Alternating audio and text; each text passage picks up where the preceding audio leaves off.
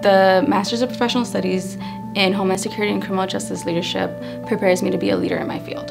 Whether that's the Homeland Security field, criminal justice field, private sector, government sector, we're not just learning textbook or theories, we're learning what other people are doing out in our field already and how they're applying what they're learning there. There's a variety of courses that a student takes.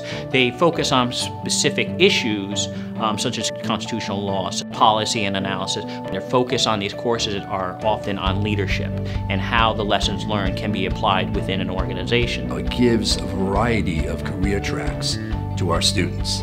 They can go to police service, courts administration, correctional services, counterterrorism, Homeland Security, the FBI, ATF, all these things. There are a variety of new career paths that if you enroll in this particular program, uh, these opportunities are available to you.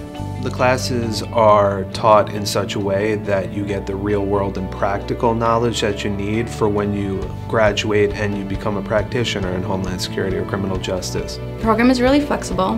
Most of my classes are from 7 to 9 p.m. at night, so I have all day to work, to study, to write papers. We constantly refine and alter our curriculum to reflect the changes going on in the criminal justice system and in this new burgeoning field called Homeland Security.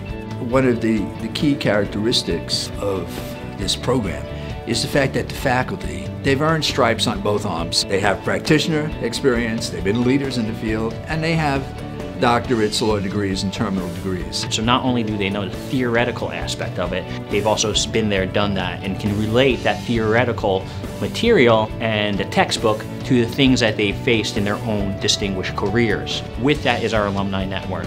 There are St. John's alumni all throughout New York City and all throughout the country.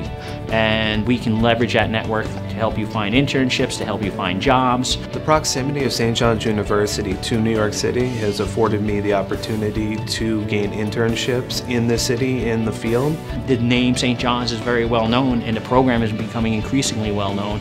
I would tell any student who's thinking about the Homeland Security and Criminal Justice Leadership Program to do it. Come to St. John's. There is a sense of home here. The opportunities you have from leaving with a master's at St. John's University opens doors everywhere. If you're interested in being a principled and competent leader and you want to make a difference, come to St. John's University.